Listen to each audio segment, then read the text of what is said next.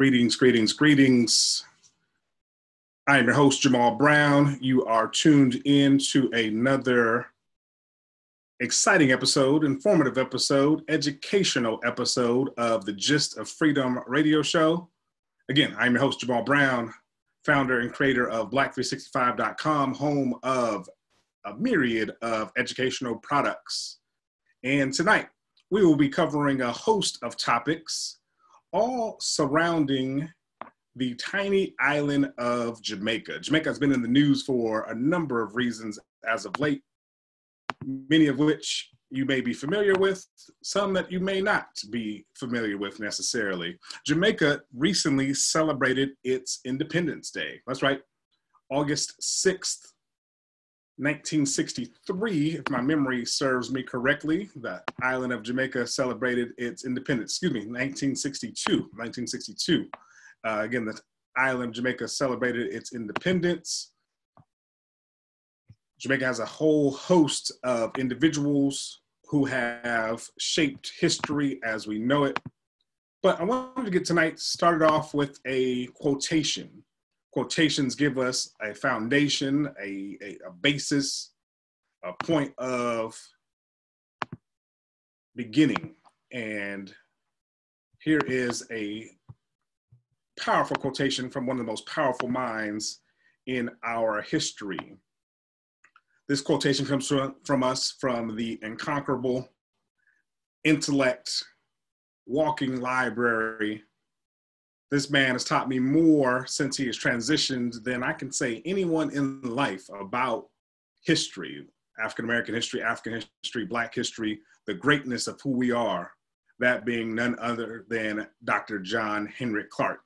One of my favorite quotations is provided here. He says, History is a clock that people use to tell their political and cultural time of day. It is a compass they use to find themselves on the map of human geography. It tells them where they are, but more importantly, what they must be. There are so many things that we can pick apart from this quotation, so many pieces, so many parts, so many facets, but I just love the, the, the, the poetic nature of this poignant statement. History is a clock that people use to tell their political and cultural time of day. Again, just like a clock tells you the hour, tells you where you are at in relation to the sun, where you are at in relation to others. Again, he says history allows you to find out what time it is. In Swahili, people say, "What's the news?" You know, what, what what's happening in African American culture? What's happening? What's up? What time is it? And back in the 60s, people would say, what time is this liberation time? But again, Dr. Clarke says, history is a clock that people use to tell the political and cultural time of day. It is a compass that you find, that people find themselves on the map of human geography. And like I said, today we're going to look at and map, and we're going to look particularly in the Caribbean Sea, the Caribbean Ocean, Caribbean Sea, at this country known as Jamaica. Jamaica, as you know, is the home of the Honorable Marcus Garvey. It is the home of Bob Marley. It is the home of several Maroons. I recently realized that the term Maroon is a term that people may not necessarily be familiar with, but I'll tell you what a Maroon is. A Maroon is a town or an encampment or a collective of people, formerly enslaved people, who have exhibited self determination people who said that, hey, the birds are free, the fish are free, and it only makes sense that God made people free too.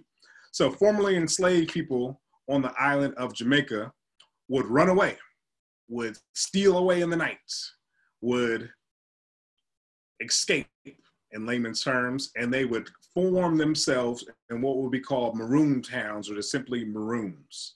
There, they would strike back at imperialism, they would strike back at colonialism, they would strike back at the enslavers. Through asymmetric warfare or guerrilla warfare, they would sneak in the night and strike the plantations that they were formerly enslaved on, stealing cows, stealing chickens. Or can you even call it stealing when you're doing what you are doing in order to survive? If someone has stolen you and you steal from someone who stole you, is, is, is stealing the right word? I'm not, I'm not sure. Uh, the, the, English language isn't quite expansive enough to quite uh, articulate the, that message, I think. But there were people who would fight for their freedom, fight for the freedom of others in Jamaica and places called Maroons. And one of the most valiant fighters, one of the most intelligent fighters, one of the most honorable fighters from the island of Jamaica. We know her as Queen Nanny, or simply Nanny for short. Queen Nanny was a Maroon leader. She was from the Ashanti nation, or the Ashanti tribe of Ghana, West Africa. Who else was from the Ashanti tribe? Take a minute, go through the recesses of your mind, your mental database. What other freedom fighter that we talk about here on the Gist Freedom Radio show comes from the Ashanti tribe? Time's up. That person, none other than Queen Harriet. Harriet Tubman. Harriet Tubman comes to us from the Ashanti tribe as well. But today we're talking about this freedom fighter known as Queen Nanny. We feature her in some of our Black 365 products. You can find out black365.com or blackhistorycards.com. Uh, but Queen Nanny, as I mentioned, was an intelligent warrior, was a fearless warrior, was a maroon leader from the Ashanti tribe of Ghana, West Africa, forced to, into enslavement along with her brothers, Cudjo and others. And each and every one of her brothers and herself stole away, broke away, and were the leaders of men, leaders of women, and leaders of freedom fighting children who lived in the Blue Mountains of Jamaica. These were hard to reach places where they would steal away and create encampments and constantly and consistently plan constantly and consistency fight against colonization, constantly and consistently fight for freedom. When the British could not stop Queen Nanny, when the British could not corral her, when the British cannot break the will or the spirit of Queen Nanny, they sought to create treaties. They wanted to meet with her at the negotiating table each and every one of the treaties that was signed or agreed upon, or the agreements uh, were gained with Queen Nanny, the British broke time and time again. But again, they did not break the will, did not break the spirit, did not break the mentality, did not break the fervor of Queen Nanny or her freedom seeking fighters, freedom seeking kin that she lived with. For her efforts, for her valiant spirit, for her warrior mentality, for being the person that she is. The Jamaican government, after she died, several years after she died, memorialized her on the $500 bill in Jamaica. She is the only one, the only female to be recognized as a um, as a national hero. Jamaica, I believe, has seven national heroes. Queen Nanny is the only of Jamaica's seven national heroes. And when someone is um, entrusted with or bestowed the title of a national hero in Jamaica, they are given the term or given the phrase that they're able to put in front of their name, the right excellent. So, so she is properly called the right excellent Queen Nanny. And here we see her, her likeness featured on the $500 banknote or $500 bill, which is the largest bill in the Jamaican circulation, Jamaican society. Again, on the Gist the Freedom radio show, if you listen back at our previous shows, we've been talking about memorials. We have been talking about symbols that have been erected, symbols that have been passed down, symbols that exist that showcase the greatness of a people. Symbols, since the beginning of time, have been created by man in order to convey a message. Symbols recognize and showcase to the world the hope, the spirit, the intentions of a people. Going far back since the beginning of time, the ancient Egyptians we covered in a previous episode erected tekhen or tekenu or obelisks. And these were symbols of resurrection. Each time you see a tekhen, each time you see an obelisk in ancient Egypt or anywhere throughout the world, we mentioned that there is one in Washington, D.C. that's known as the Washington Monument. We mentioned that there's one located in Paris, one located in London, and one located in New York's Central Park that was stolen from Egypt. This symbol of assured resurrection, a symbol of power, a symbol of dominance, a symbol that showcases to the world we are in alignment with our Creator and we will continue to rise. Symbols are important Statues are important, memorials, mementos are important. So it is no small feat that Queen Nanny will forever be memorialized in the hearts and minds of all who know of her valiancy, of her strength, of her fierce fighting. Again, here is the $500 bill that showcases the face and the likeness of Queen Nanny. Next up, we have this outstanding warrior. She was not necessarily a warrior on a battlefield, but she was a warrior when it comes to the political arena. I'm talking about none other than, I don't even know what term to give her right, excellent, honorable, queen I'm talking about Shirley Chisholm. Shirley Chisholm. We've talked about Jamaica. We've talked about, now we're going to talk about women in politics. We're tying all this together. Here at the Gist the Freedom Radio, we don't just talk about history for history's sake. There is no such thing in our in our minds as history for history's sake. History shows us the future. When you really begin to analyze, when you really begin to look at and dig deep into history, it all is a circle and all circles back to itself. Shirley Chisholm is this country's first African African American female congressperson. She represented the great state of New York in pop quiz. What feat did Shirley Chisholm accomplish? Again, we've heard her name perhaps recently as uh, uh, uh, women reached different heights in terms of politics. Well, Shirley Chisholm was the first African American, male or female, to receive a major party nomination for President of the United States, the first African American. She laid the foundation for Jesse Jackson in 1988, for Barack Obama in 2008, and most certainly for Ms. Kamala Harris here in the year 2020, as she has recently received the nomination or the um, delegation of uh, vice president candidate for the United States of America. And it was in the early 1970s where Shirley Chisholm, representing again herself in the great state of New York, um, had a slogan that she was unbought and unbossed unbought and unbossed. Really, that means she was uncompromising in her stance, uncompromising in her politics, uncompromising when it came when it came to the seriousness that she exhibited for her people.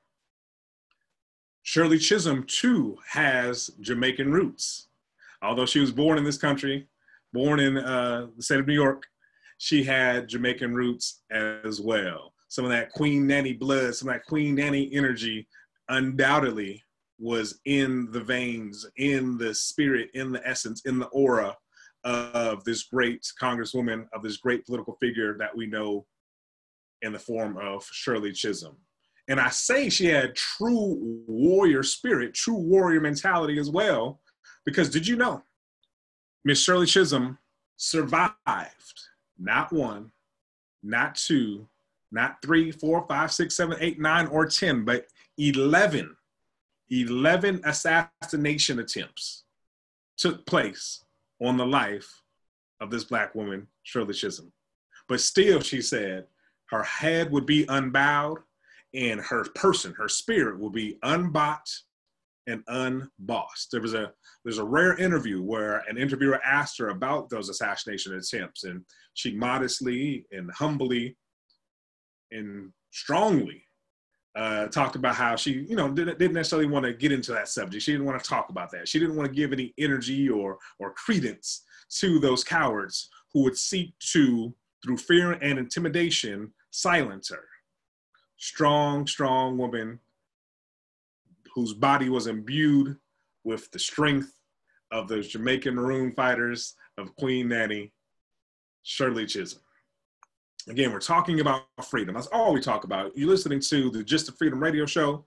You can find over 300 previous recordings that I've listened that I've been listened to over, I believe, 30,000 times, if my memory serves me correctly, at the blackhistoryuniversity.com. Blackhistoryuniversity.com is where you can find previous shows.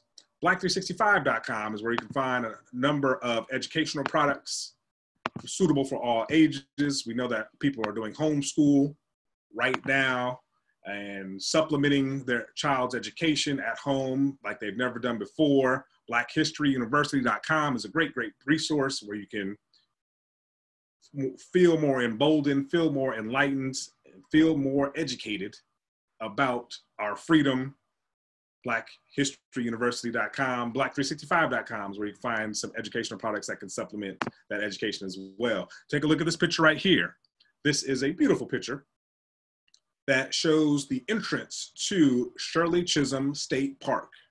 Again, when someone has done something so honorable, so valiant, so recognizable that beyond their life, they should be remembered, records should show, history should reflect, monuments should be built in their honor. That is what a life well lived seems to me. And here we see Shirley Chisholm State Park in the state of New York. This place has over 400 acres, has over 35,000 trees, has native grass and shrubs and woodlands. This uh, was dedicated uh, to Shirley Chisholm some years back. Um, to the northwest, you can see the Empire State Building. To the south, you can see Jamaica Bay. Check out the irony there. Check out the divine connection. I use that word divine purposefully because uh, going back into the Bible, even the Bible talks about uh, memorials. The Bible talks about um, having contained mementos for remembering what you've gone through. Uh, the manna from heaven in the book of Exodus, uh, those people fleeing from harsh realities were given sustenance, given substances from heaven in the form of manna, the story says, and they were instructed to keep that manna in jars in order to remember the goodness, to, in order to remember the grace that came to them from heaven. Again, mementos, memorials, statues are also important. They tell a story that can be passed through generations that people can touch, they can feel, they can connect with the energy of a thing. Jamaica Bay, as I mentioned, can be seen from Shirley Chisholm State Park. That's in the New York area. But there's also a Jamaica Bay that is connected with Boston and connected with this man, David Walker. David Walker is a phenomenal man. Each and every person should have the name of David Walker in their collective memory, should have the name of David Walker on their tongues. You should teach your children about David Walker. David Walker was an upright man. He was an honest man. He was a bold man. He was an uncompromising man. He was born free, if I'm not mistaken, in the year of 1825, and he settled in Boston. In Boston, he was connected with Boston's Jamaica Bay he was a writer, He was an entrepreneur. He loved the sea and the ocean and seafaring ways. And he owned a clothing shop. From what I've been able to gather, his shop would be considered in today's terms somewhat of like a secondhand store, right? Where he sold clothing, sold clothing to sailors, sold clothing to the general public, and he would also tailor and make alterations to the clothing. He wrote what is popularly known as David Walker's Appeal. And in this appeal, he made an appeal to the colored people of the world. He had that freedom message in his mind, that freedom message in his heart, and he wanted to share that message of freedom. He appealed to the masses of Black people all throughout the world. The message of abolition was not simply contained to the northeast of these United States. No, this was an international message with an international flair, international overtures and overtones. And David Walker did all that he could to ensure that this freedom loving message this message of abolition, this message of freedom by any means necessary, even before the great Malcolm X. David Walker talked about freedom by any means necessary. Again, he wrote a small book or some writings that is, known, that is known as David Walker's Appeal.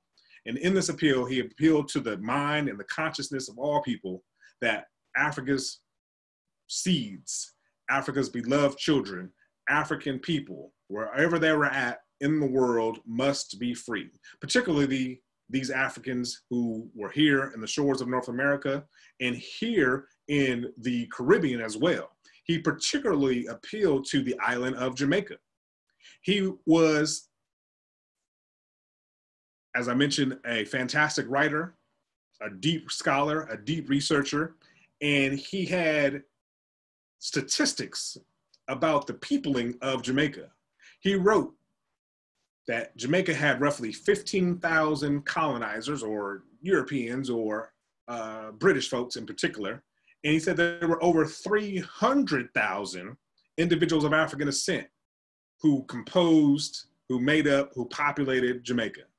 He said, look, if we cannot appeal to the minds and hearts of these people and negotiate our freedom, we must take our freedom by choice. We must take our freedom by force, excuse me.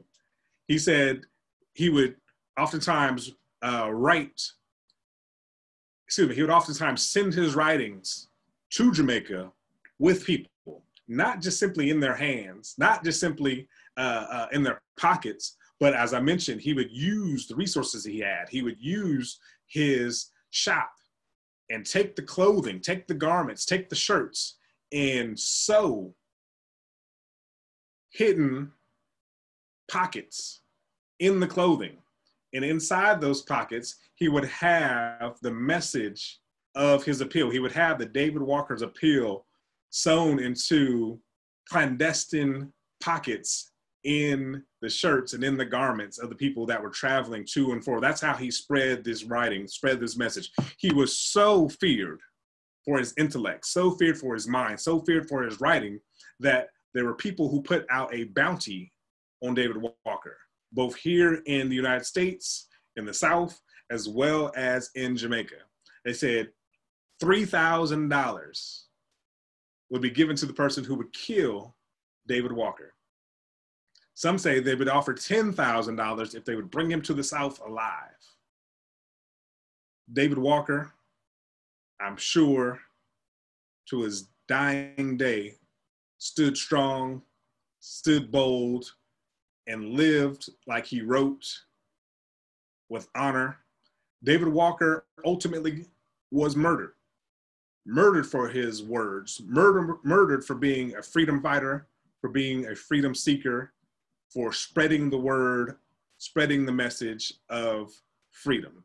Again, you were listening to the Gist of Freedom radio show, where we connect the past with the present we make history a living thing.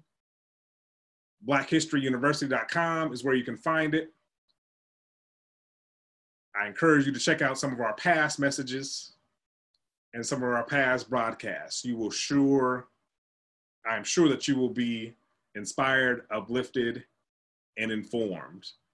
David Walker, again, was not just one of these people who pontificated, was not just one of these people who talked and wrote to hear himself write, but this man was a true scholar. Again, born free. I oftentimes like to point out that our brothers and sisters who in the 1800s were born free, they had a choice.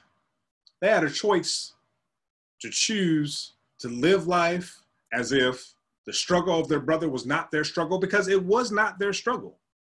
David Walker never felt the chains, never felt the manacles of enslavement, never felt the sea in a, the belly of a boat.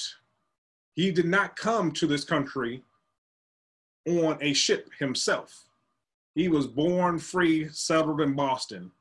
However, he dedicated his life, he dedicated his energy, he dedicated all that he had to research, to writing, to, to the liberation of African people. David Walker, to the best of my knowledge, did not have a mathematical background. However, he had tremendous, intricate, detailed stats about the number of people black, the number of people white, the number of square feet and square miles and kilometers of the island of Jamaica and other islands in the Caribbean. And he said that no way, by no stretch of the imagination, by no conceivable manner, should one nearly 1% of the people in Jamaica dominate the other 99%. Again, the British in Jamaica made up roughly 15,000 people. There were over 300, some say 350,000 individuals of African descent. No way, David Walker said, that we should lay down, that she that we should allow ourselves to be subjugated, allow ourselves to be oppressed, allow ourselves to be dominated in the fashion that we were in Jamaica. African people had never seen the level of brutality, had never seen the level of merciless killing, had never seen an industrial complex like the Europeans, like the British had fashioned. We had never seen chattel slavery. That did not exist. The word, the concept, the idea of enslaving someone from the time that they were born to the time that they died, working someone for free, getting free labor, enslaving the offspring of someone, this did not exist in Africa. There were no large scale wars in Africa prior to the coming of Europeans. So people are oftentimes ask, how was it even possible that Europeans were able to create such a peculiar institution, were able to create chattel slavery? I say that we were um, bombarded by a wicked mentality that did not exist in Africa.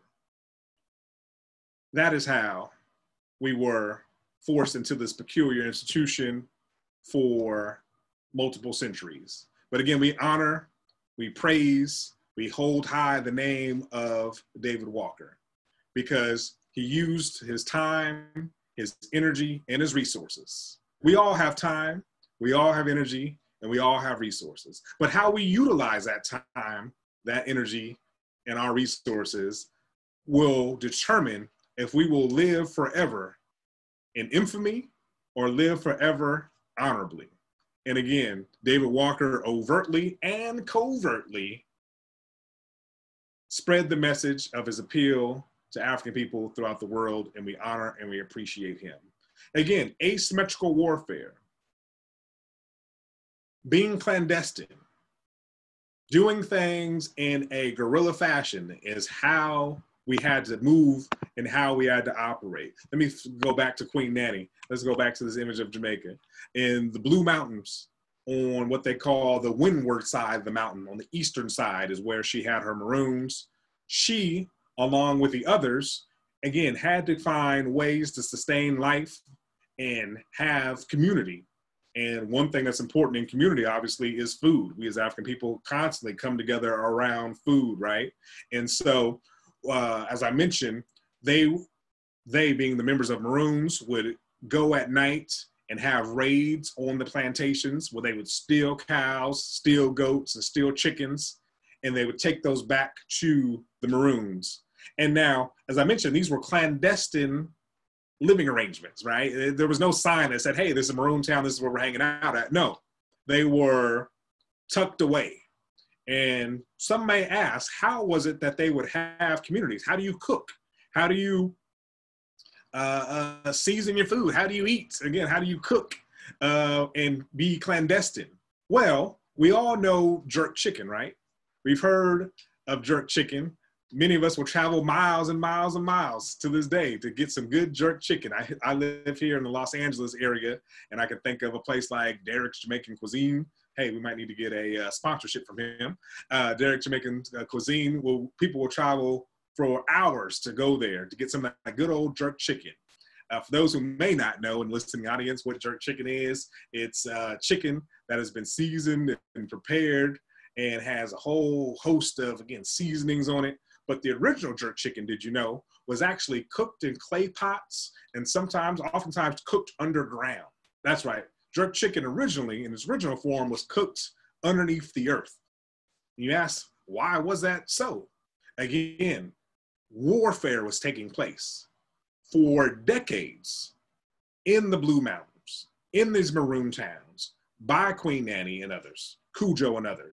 And so, one of the intelligent ways that they uh, devised in order to hide their um, uh, location was the invention of these pits these smoke pits and these clay pots and covering the chicken with the herbs and spices and all this taste goods, but sometimes would smell good. But that smell, that aroma, that smoke cannot give away their location. And so again, they invented earthing pots and um, other clay pots where they devised a system where they would have a cool pot in the earth next to a warm pot. And this would preserve the food uh, almost like a early um, uh, uh, refrigeration system, as well as they had earthened ovens. Queen Nanny, there is a movie that uh, depicts her. Uh, the name of that movie is escaping me at the moment, uh, but there are, are, are, depictions of her and depictions of Maroon Towns. PBS, Public Broadcasting Service, did a um, did a piece on Maroon Towns and Maroon Nations there you can check out more about Queen Nanny, and they did an okay job of uh, uncovering or shedding light or highlighting what it was like to live in some of these maroon towns. Again, these were places where freedom seeking people, freedom loving people lived away from colonization, where they kept the spirit of freedom alive. Again, you're listening to me, your host, Mr. Black 365, Jamal Brown, uh, creator of Black365.com and its educational products. On the Gist of Freedom radio show, you can find some of our previous broadcasts at blackhistoryuniversity.com, blackhistoryuniversity.com. As I mentioned, there are a number of people who call Jamaica home. There are a number of people who are inspired and empowered by Jamaica.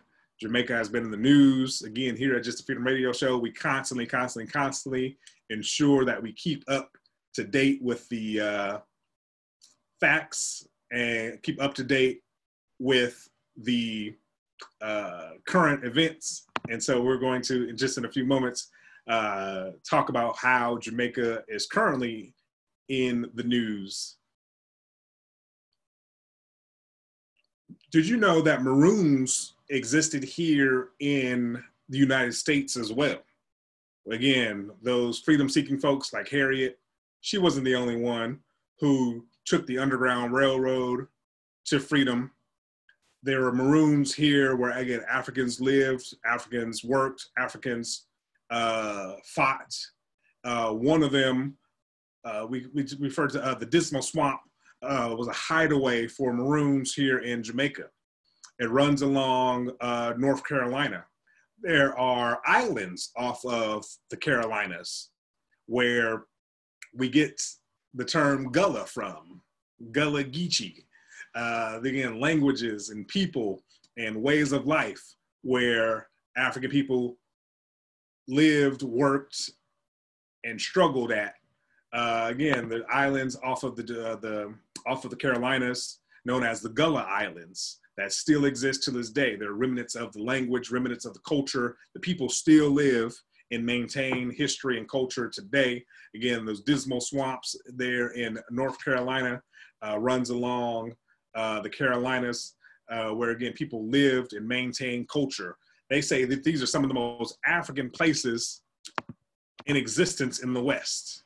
You can go to the Gullah Islands, or you can go to the Dismal Swamp, and you can see Africa still in existence.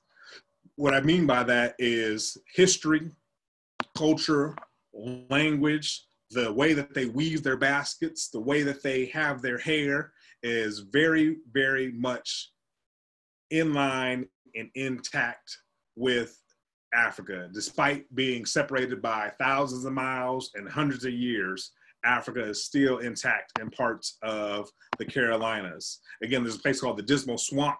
There's actually a website, uh, dismalswampwelcomecenter.com. Um, there, it talks about the over 1,550 sites of the Civil War Trail uh, that exists actually throughout six states where individuals of African descent uh, lived and built communities and fought behind enemy lines behind enemy lines. They were maintaining culture and they were fighting. I always, always, always like to dispel the myth of the happy go lucky, of the smiling slave. I always like to struggle against, fight against, speak against the concept, the idea, the notion that overwhelmingly African people were content with their lot in life, that they were content with their place, that they were content with slavery. That, beyond a shadow of, doubt, of a doubt, was not true. The masses of our people lived their life, dedicated each and every waking moment of their life to freedom. Our people knew of the grandeur, knew of the pleasant trees, knew of the greatness of Mama Africa. We knew that our Creator created us free, like all things are free. And by and large, we did not simply roll over and accept colonization, accept the peculiar institution. Again, if you knew the horrors of enslavement, if you knew of the castrations and the burnings and the kidnappings and the sexual assaults, if you could picture for one minute and internalize the idea of having your mother sold in this direction and your offspring sold in this direction and your husband sold in this direction, you would know that no person with a conscience, no person with a soul would simply accept this form of life. And so in the dismal swamps, in the maroon towns of Jamaica, and the maroon towns of the United States, we constantly and consistently had people fighting for the, our liberation. Going back to these uh, dismal swamps, George Washington um, actually uh, had issues with uh, the Maroon Towns. Uh, the, the, the, dismal swamps produced hemp, uh, in those uh, Carolinas, uh, indigo was a large crop, and also hemp, which has multi facets. Hemp can uh, produce clothing, hemp can produce rope, hemp can produce all sorts of industrial uh, items. George Washington drudged the swamp for all of its hemp to keep an eye on anyone anyone else from selling uh, hemp or uh, over Tabasco. Uh, I almost said Tabasco. Uh, tobacco. Again, those Carolinas are known for indigo, uh, hemp, and tobacco. And uh, George Washington was in the business of tobacco and he uh, despised the people who were uh, utilizing the uh, dismal swamps uh, for various reasons. The Fabulous History of the Dismal Swamp Company, a story of George Washington's times by Charles Royster, is a place, is a reference for you. Let me say that one more time. Uh, when I get excited, I talk fast. My producer and others, my mother even said, slow down a bit. Uh, you got to reach, you got to teach, you got to educate the people, so you got to slow down a bit. Let me give you that name one more time. Uh, the Fabulous History of the Dismal Swamp Company, a story of George Washington times by Charles uh, Royster, R-O-Y-S-T-R. Royster is where you can find out more information about, about the Dismal Swamp, the uh, place that many Africans called home, where they lived, where they plotted, where they planned their escape for themselves and escaped for others.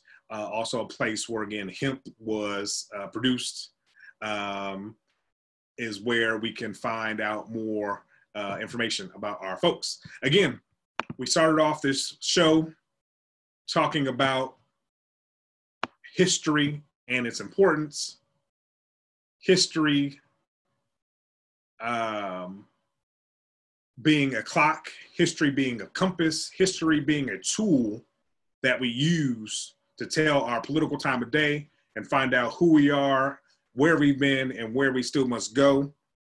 We talked about Jamaica, again, I'm giving a recap here. Uh, many of our listeners have given us feedback saying, hey, we love the show. And so uh, many of them are using it as a lesson plan, using it as a foundation to teach history and encourage uh, conversation in their homes. We are open here at the Gist of Freedom to your input.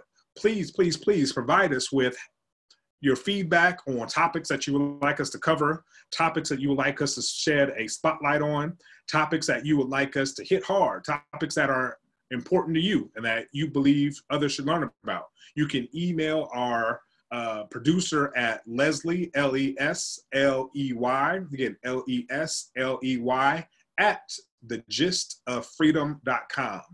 The gist of freedom.com. Guests, we would like to hear from you. Guests, we would like, uh, audience members, we would like to hear from you. We would like to know uh, guests that you would like us to uh, interview. Your favorite historian, uh, someone that may not necessarily be known in the national uh, uh, uh scape, the national landscape, but that person in your family who may be a historian, a keeper of the records, a historian, a librarian, again, a local figure, a national figure, please do let us know. We, are, we want some Black History, Black History Scouts. You in the listening audience, you are our eyes and ears. You give us our lifeblood. You let us know where we should go in terms of the direction of who we interview, who we bring on the show. You can use the hashtag Black History Scout.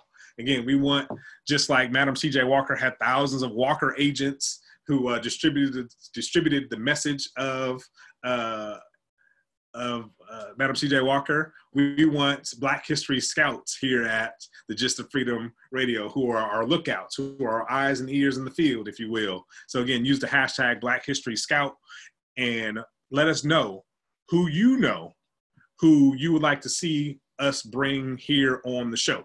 We want to share your pictures. We want to share your stories of your family history, of your city's history, of your area's history. Again, we have this theme that we're working on where we are discovering and uncovering and shining a spotlight on memorials, uh, statues, uh, placards, lands, fields, plantations, anything that has been memorialized that you would like us to uh, shine a spotlight on, please, please, please share with us information about it, share with us pictures and stories, and we can possibly bring you on to the show so that you can share more information about this living history, these memorials. Uh, also, let us know information about places that are sacred and holy to you and that should be memorialized, places that have yet been honored, yet been stamped, yet a landmark has been placed uh, on them, but you know that they were sacred and holy places that made uh, uh, uh, uh life better for our people. Please, also uh, endangered places, places as we know have been dilapidated. places that have been, been neglected, places that have not been given the wherewithal and upkeep that they should. Um, again, we know that many uh, of our historic uh, colleges, some HBCUs, I can think of Morris Brown, for example, in Georgia, who had to close its doors some years back. Many of these places of higher education have been uh, neglected. Uh, these, these, these, these small one house, uh, one room, um, one room shacks or one room uh, schoolhouses that still exist to this day. Again, let us know.